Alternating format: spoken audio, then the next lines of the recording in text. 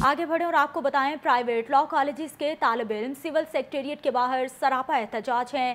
Classes شروع ہونے کے بعد انٹری ٹیسٹ لیا جا رہا ہے۔ مزید جانتے ہیں اویس ورک سے۔ اویس ورک بتائیے گا، کیا معاملہ ہے یہ؟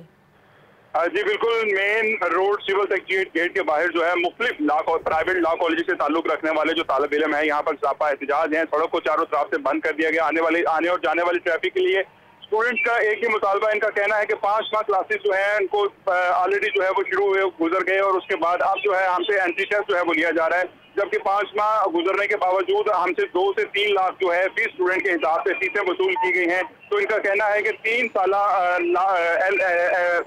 تین سالہ جو پروگرام ہے وہ اس سال آخری ہے۔ اس کے بعد اس پروگرام کا باقاعدہ جو ہے وہ ختم کر دیا گیا ہے۔ لہٰذا جب تک ہمارا مطالبہ جو ہے اس کو نہیں مانا جاتا کہ اینٹی ٹیسٹ جو ہے اس کو اب نہ لیا جائے، چھ ماہ ہمیں باقاعدہ جو ہے وہ ایل ایل بی کی کلاسز لیتے ہوئے ہو گئے ہیں تو اب یہ ایک جو ہے وہ اسٹوڈنٹس پر اور ان کے مستقبل کے ساتھ جو ہے وہ کھیلا جا رہا ہے۔